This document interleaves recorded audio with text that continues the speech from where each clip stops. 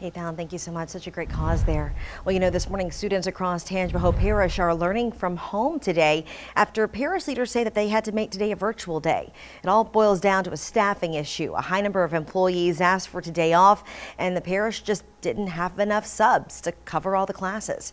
Now, a lot of parents aren't happy about this move, but many teachers tell me that they put in these requests far in advance. Uh, the school board says employees will provide students with all the necessary assignments to work from home today. The board is also looking for a way to adjust its policy regarding employee leave before a major holiday. Uh, but you know, this